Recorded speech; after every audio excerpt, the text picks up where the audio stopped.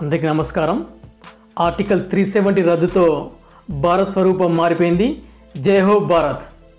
అనేక పోటీ పరీక్షలకు ప్రిపేర్ అవుతున్న అభ్యర్థులకు ఖచ్చితంగా జనరల్ స్టడీస్ విభాగంలో కరెంట్ అఫైర్స్ నుంచి ఆర్టికల్ త్రీ సెవెంటీ చుట్టూ ఆర్టికల్ త్రీ సెవెంటీ పూర్వ పరాలను తెలియజేసుకోవడానికి తెలుసుకోవడానికి అనేక ప్రశ్నలు అనేక సందేహ సందేహాలు తీర్చడానికి ఈ వీడియో మీకోసం రూపొందించడం జరిగింది. ఖచ్చితంగా మీకు ఇందులో నుంచి బిడ్స్ వచ్చే అవకాశం ఉంది. So please subscribe my YouTube channel and click bell icon.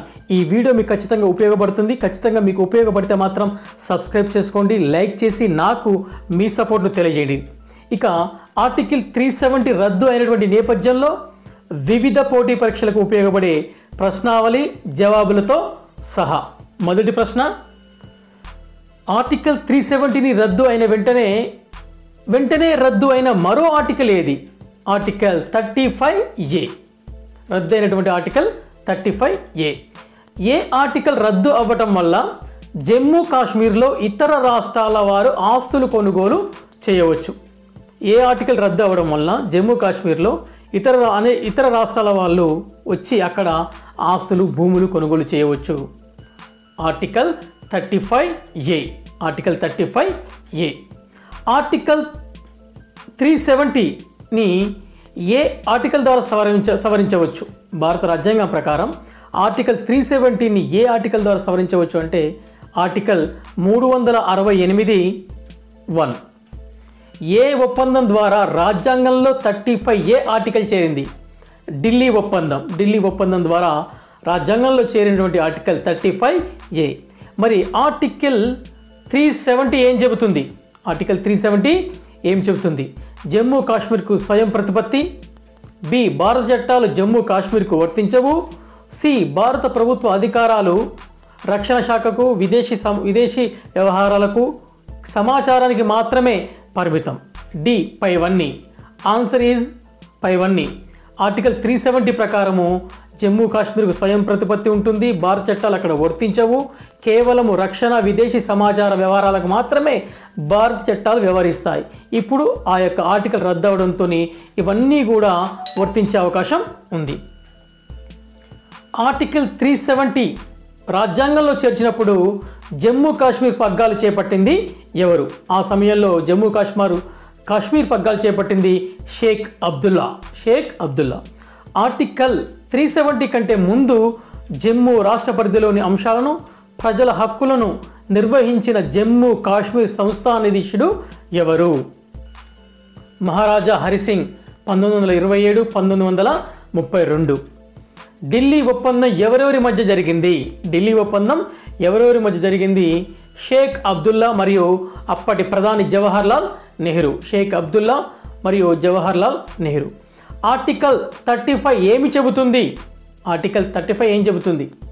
Jammu Kashmir శాశ్వత నివాసులకు నిర్వచించే అధికారం ఆ రాష్ట్ర శాసనసభకే లభిస్తుందని చెప్పే ఆర్టికలే thirty five A.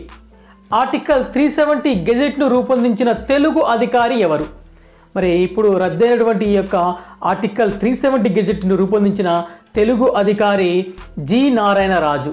ఇతను పార్లమెంట్ వ్యవహారాల శాఖ కార్యదర్శి.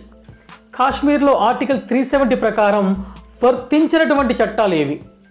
అక్కడ త్రీ సెవెంటీ ప్రకారం వర్తించిన చట్టాలు సమాచార హక్కు చట్టము మరియు కాగ్ చట్టము మరియు భారత్ సంబంధించిన ఇతర చట్టాలు కాశ్మీర్లో ఆర్టికల్ త్రీ సెవెంటీ ప్రకారం వర్తించవు. బట్ ఇప్పుడు ఆ ఆర్టికల్ రద్దవడంతో భారత్ సంబంధించిన చట్టాలు అన్ని అన్ని రాష్ట్రాల మాదిరిగానే అక్కడ వర్తించే అవకాశం ఉంది ఫ్రెండ్స్.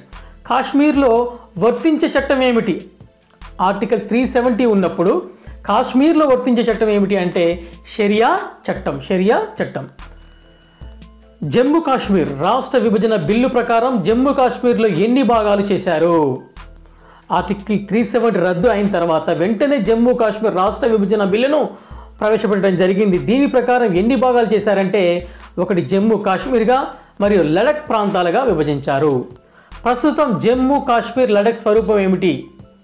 జమ్మూ కాశ్మీర్ను అసెంబ్లీ ఉన్నటువంటి కేంద్ర పాలిత ప్రాంతంగా లడఖ్ను అసెంబ్లీ లేని కేంద్ర పాలిత ప్రాంతంగా మార్చడం జరిగింది. నెక్స్ట్ ఆర్టికల్ త్రీ సెవెంటీ రద్దుతో భారత్ యొక్క స్వరూపం ఏమిటి?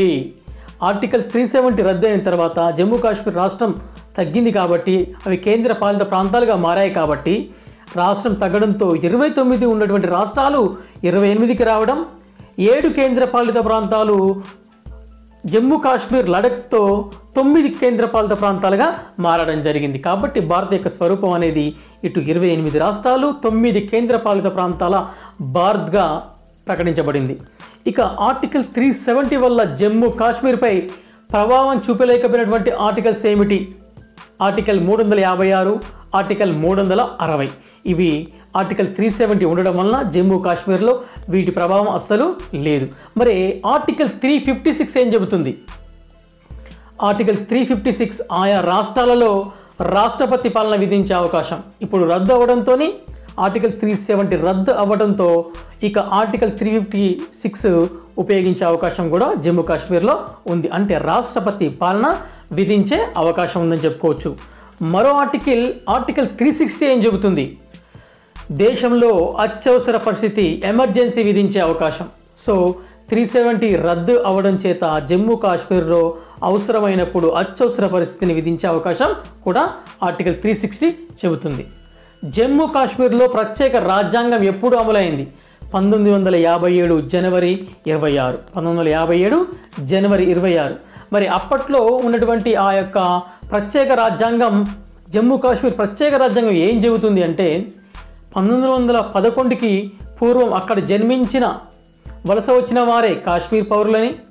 పంతొమ్మిది వందల పదకొండుకి ముందు పదేళ్ళకు తక్కువ కాకుండా అక్కడ ఉంటున్న వారికే స్థిరాస్తులపై హక్కు అని జమ్మూ కాశ్మీర్ నుంచి వలస వెళ్ళిన వారు పాకిస్తాన్కి వెళ్ళిన వారు కూడా రాష్ట్ర పౌరులే. ఆప్షన్ డి పైవన్నీ సరైనవి. పైవన్నీ కూడా సరైనవిగా మనం జమ్మూ కాశ్మీర్కి సంబంధించిన ప్రత్యేక రాజ్యాంగం చెబుతుంది. ఇక ఆర్టికల్ ముప్పై ఐదు ఏ ప్రకారం జమ్మూ కాశ్మీర్ రాష్ట్రంలోని మహిళ ఇతర రాష్ట్రాలకు చెందిన వ్యక్తితో పెళ్ళి చేసుకుంటే ఏ ఆమెకు జమ్మూలో స్థిరాస్తులు ఉండడానికి వీల్లేదు. ఆమె పిల్లలకు ఆస్తిపై హక్కు ఉండదు. శాశ్వత నివాస సర్టిఫికెట్ ఇవ్వరు. డి సరైనవే. ఆన్సర్ అన్నీ సరైనవే. అయితే ఫ్రెండ్స్ ఇప్పుడు ఆర్టికల్ త్రీ సెవెంటీ రద్దు కావడంతో ఆర్టికల్ థర్టీ ఫైవ్ కూడా రద్దు అవుతుంది కాబట్టి జమ్మూ కాశ్మీర్లో ఉండినటువంటి ఆ రాష్ట్రపు మహిళ దేశంలో ఉన్న ఏ రాష్ట్రం వ్యక్తులను వివాహం చేసుకున్నా ఎలాంటి ఇబ్బంది ఉండదు. ఆమె స్థిరాస్తుల విషయంలో కానీ పిల్లలకు సంబంధించిన ఆస్తుల విషయంలో కానీ శాశ్వత నివాస సర్టిఫికేట్ సర్టిఫికేట్ విషయంలో కానీ ఎలాంటి అభ్యంతరాలు ఉండవు. ఇది ఆర్టికల్ త్రీ సెవెంటీ చుట్టూ ఉన్నటువంటి పోటీ పరీక్షల నేపథ్యంలో పడే ప్రశ్నలు విత్ ఆన్సర్స్ ఇవ్వడం జరిగింది ఫ్రెండ్స్. ఖచ్చితంగా మీకు ఉపయోగపడితే సబ్స్క్రైబ్ చేసుకోండి. పక్కన ఉన్న బెల్ ఐకాన్ని క్లిక్ చేస్తే ముందుగా నా వీడియోస్ మీకు చేరే అవకాశం ఉంటుంది. Thank you so much.